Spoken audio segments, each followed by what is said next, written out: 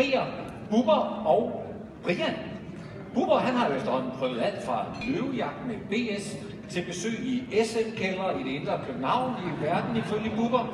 Men det er først først i de senere år, han sådan har fået sig taget rigtig mod til at komme i kliksko. Han er nemlig sprunget ud som hardcore cykelmotionist. Ja, og øh, sammen med Bubber, der har du Brian Nygaard Vindebo, som, som cykelrytter tilbage i 80'erne blev træt af at øh, sidde derude og bare gumle på øh, boller og bananer.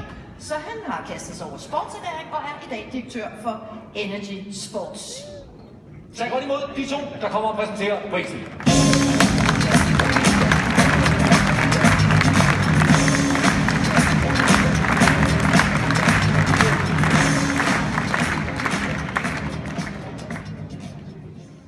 Kigger herop, men øh, prøv at kigge opad. Prøv at se, hvor I er. Er det ikke fedt? Det er det. Er der nogen, der er spændte?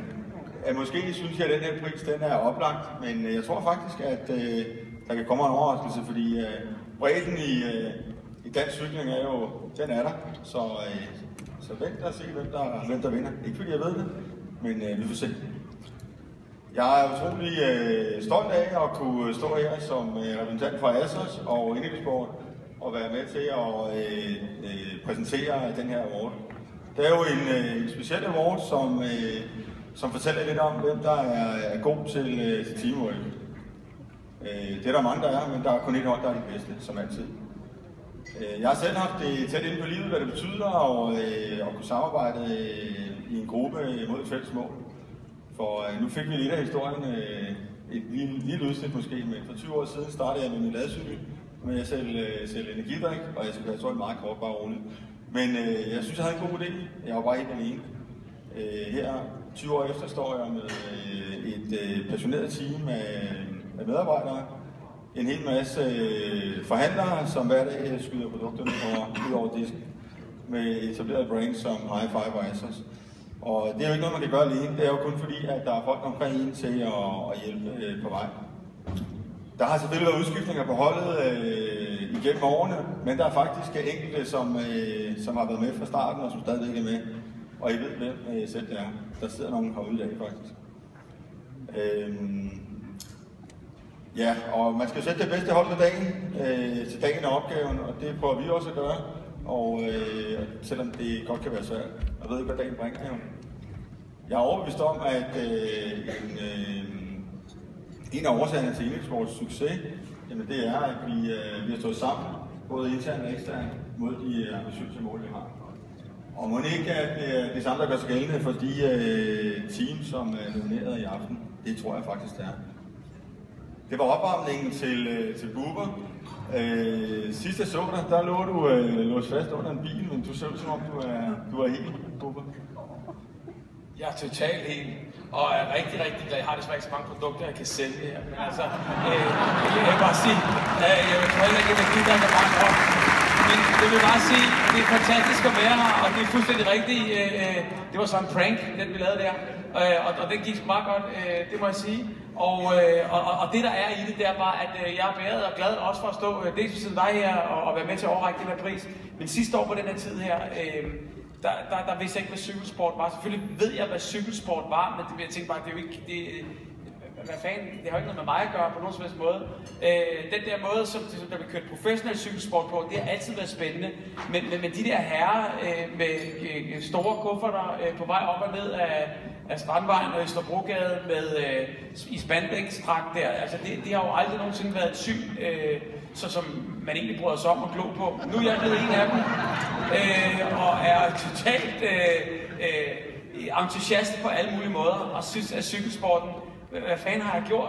Hvorfor har jeg ikke øh, øh, kastet mig over det øh, noget før? Det er fuldstændig fantastisk, men det ved jeg bør ikke stå og sælge øh, herinde. Men øh, jeg er glad for at, at stå her, lige præcis nu her, og være med til at hylde en, øh, en sportsgren, der er øh, federe end fed. Det er fantastisk at stå her, og derfor, så øh, hvis I retter blikket op på de runde monitorer, så vil jeg sige, de nominerede i øh, den her kategori og pris er Årets kontinentalhold præsenteres i samarbejde med Asos by Energy Sport. De nominerede er Rival Platform Cycling Team, Cult Energy White Water. Christina Rotches Kuma. Og Trefor Blue Water.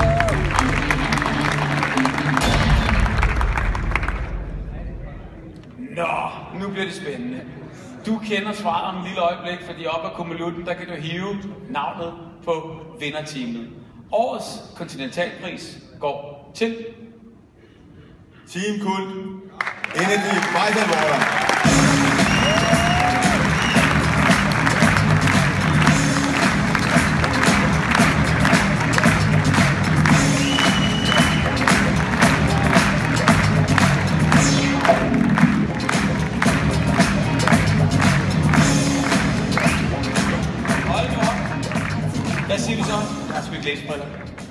Det er Mathias og Cecilie. Det er, jo, det er jo lige præcis det der. Mathias og Cecilie, hej, velkommen.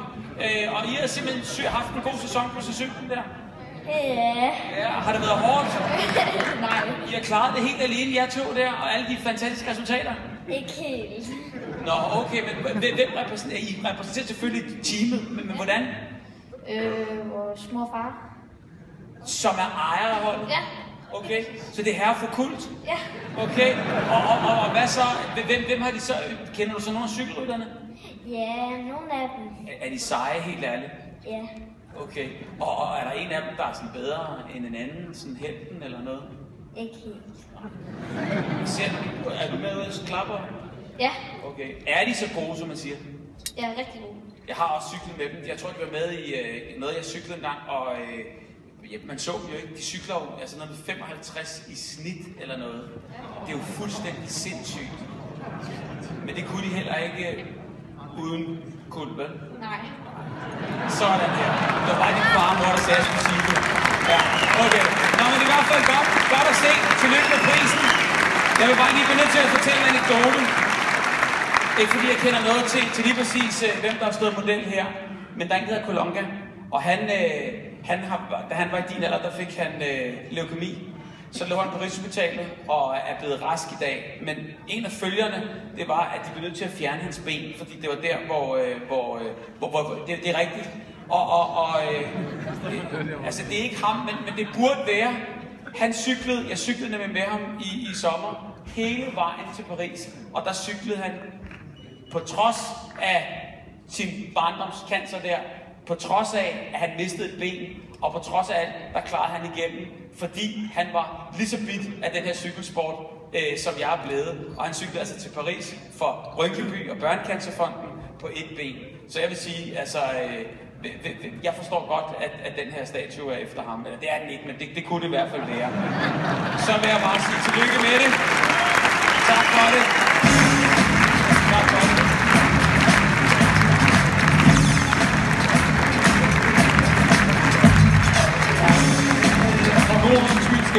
For god